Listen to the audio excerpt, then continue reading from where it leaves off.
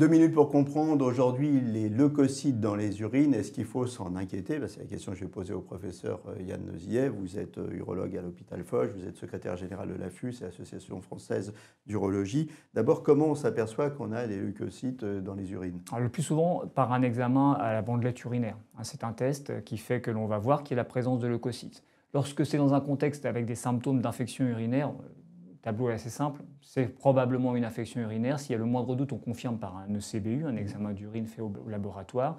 Et après, on peut, on peut traiter. Si par contre il n'y a aucun symptôme, bah, c'est là où il faut, euh, il faut s'intéresser à la cause de cette euh, leucocyturie. Alors justement, qu'est-ce que ça signifie euh, du leucocyte, des, trop de leucocytes dans les urines? Alors, Ça témoigne d'une inflammation. Et donc tout va être de connaître la cause de cette inflammation. Soit elle est d'origine secondaire par une irradiation de la vessie, qui a été traité, etc. Ça peut être certains germes, comme le chlamydia, le gonocoque, qui euh, ne donnent pas de, qui une leucocyturie sans bactériurie, c'est un germe visible à l'ECBU.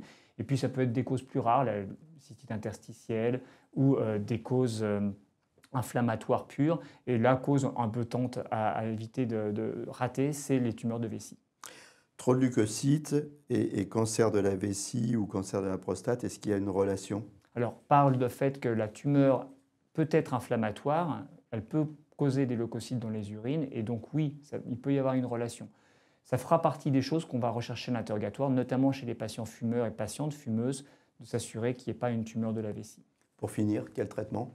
Ah, Le traitement dépend de la cause, tout simplement. Si c'est une infection, des antibiotiques, euh, et puis si c'est une tumeur, bah, son traitement, bien sûr.